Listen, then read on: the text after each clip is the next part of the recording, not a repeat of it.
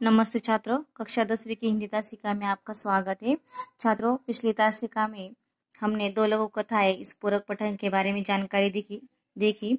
तीसरा जो पाठ है, श्रम साधना, यह अभ्यासक्रम में नहीं है मतलब इस पर आपको परीक्षा में प्रश्न नहीं पूछे जाएँगे, लेकिन उस पर आधारित जो व्याकरण है, उसे आपको सॉल्व करना है, पूर्ण करना है। तो अगली जो कविता है हमारी जिसका नाम है छापा। दूसरी इकाई की चौथी कविता है जिसका नाम है छापा। इसके कवि है कवि ओम प्रकाश आदित्य। छापा का अर्थ है, छात्रों, रेड। आपको पता ही है रेड के बारे में आप अच्छे से जानते हो कि आयकर विभाग के जो अधिकारी होते हैं, इनकम टैक्स ऑफिसर जो होते हैं, वो रेड मारते हैं, छापा मारते हैं। और कब मारी जाती है रेड? आयकर विभाग के अधिकारी, उनके, उनको दी हुई सूचना के आधार पर अनाधिकृत से मतलब इनलीगल तरीके से जो लोग धन कमाते हैं, उस धन का पता लगने पर उनके घर पर छापा मारते हैं। इस कविता में भी कवि ने उनके घर पर जो छापा मारा गया है, उसके बारे में कवि ने हमें यहाँ पर जानकारी दी है। पहले हम कवि की जानकारी देख लेते हैं। इनका जन्म 1936 गुरुग्राम, हरियाणा में हुआ था। इनकी मृत्यु 2009 में भोपाल, मध्य प्रदेश में हुई है। ओम प्रकाश आदित्य हिंदी की वाचिक परंपरा में हास्य व्यंग के शिखर पुरुष होने के साथ साथ छंद शास्त्र तथा काव्य की गहनतम संवेदना के पारखे थे। यह हिंदी कवि सम्मेलनों में भी हास्य व्यंग के पुरोधा थे। उनकी प्रमुख कृतियाँ है, इधर भी गधे है, उधर भी गधे है। मॉडर्न शादी, गोरी बैठी छत पर ये काव्य संग्रह उनके प्रस्तुत पद्य संबंधी देखिए। प्रस्तुत हास्य व्यंग ये एक हास्य व्यंग कविता इसकी विधा कौन सी? हास्य व्यंग कविता में कवि ने आयकर विभाग के छापे के माध्यम से आम आदमी की आर्थिक स्थिति, छापा मारने वालों की कार्य प्रणाली को दर्शाया है। कवि द्वारा किया गया छापे का वर्णन व्यंगात्मक हास्य उत्पन्न करता है। मतलब इस कविता द्वारा हमारा काफ़ी मनोरंजन होने वाला है।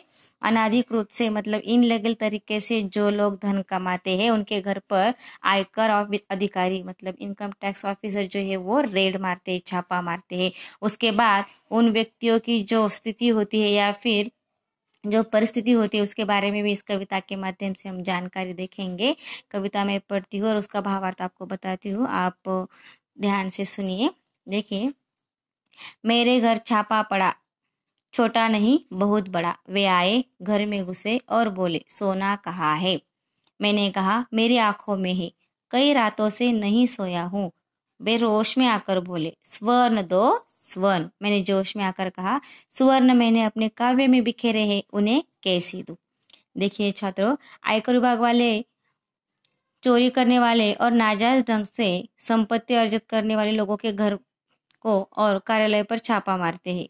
कवि के घर पर भी छापा पड़ा है और कवि मांगी हुई वस्तु को साहित्य में इस्तेमाल किए जाने वाले शब्दों से जोड़कर यहाँ पर हास्य पैदा कर रहे देखिए, कैसे? कवि कहते मेरे घर छापा पड़ा, छोटा नहीं, बहुत बड़ा। अब आप जानती है, कवि लेखक जो होते हैं, उनके पास कहाँ धन होता है? उनका धन तो उनका साहित्य ही होता है।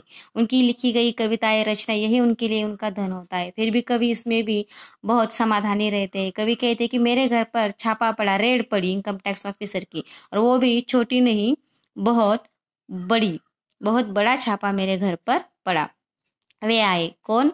Income tax officers. मतलब आयकर अधिकारी आए। घर में घुसे। अब देखिए इनको घर में घुसने के लिए किसी की परमिशन की आवश्यकता नहीं। पहले ही वो परमिशन लेते हैं। वो आकर, आपने रेड पिक्चर देखी होगी? उसमें आपको अच्छे से अंदाज़ा आ जाएगा। वे आकर डायरेक्टली घर में घुस जाते हैं और ये सामान, यहाँ वहाँ टटोलना शुरू कर देते तो लेखक के घर में भी वे आए और घर में घुसे। और आते ही वे लेखक से बोले, सोना कहा है? यहाँ पर सोना आयकर विभाग के अधिकारियों का मतलब यहाँ पर सोना मतलब सुवर्ण, गोल्ड कहा है, पूछ रहे थे कि आपने सोना कहाँ छुपा कर रखा है?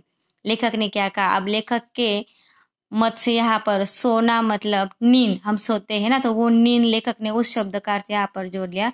मैंने कहा, लेखक ने कहा, मेरी आँखों में है, कई रात से नहीं सोया हूँ।